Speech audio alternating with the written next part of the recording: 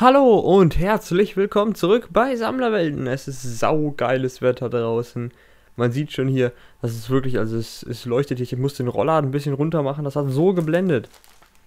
Und ich habe heute für euch das Card Collector Magazin und beiliegend fünf Extras, nämlich eine limitierte Karte Chopper und vier Original Star Wars Rebels Karten. Na gut, okay, im Prinzip ist es ein Booster beigelegt.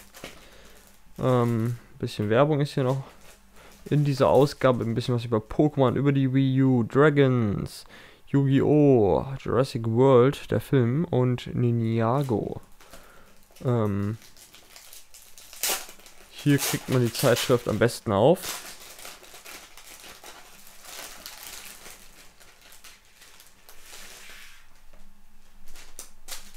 So. Das eine Booster, wir gucken erstmal hier rein,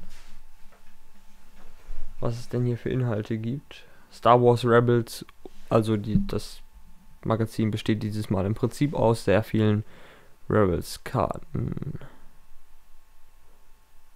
Was denn hier? Die kommende, ist das die, die nächstes Mal kommt? Auf jeden Fall ist da Ezra Bridger als limitierte, nee, als normale Karte. Ich weiß es gar nicht. Naja. Das Magazin interessiert mich auch gar nicht so doll. Ich interessiere mich eher für die Karten. Ein Star Wars Rebels Booster. Und eine limitierte Chopper-Karte. Ja gut, okay, die normalen Karten habe ich leider alle schon. Das bringt mich nicht voran. Eine limitierte Karte, Chopper in limitierter Auflage. Nämlich CCA, Card Collector Magazin Nummer A sozusagen.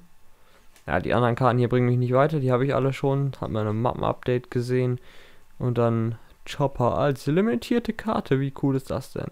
Ja, ähm, ich hoffe, euch hat es gefallen. Da kommen, glaube ich, noch zwei weitere Card Collector Magazine.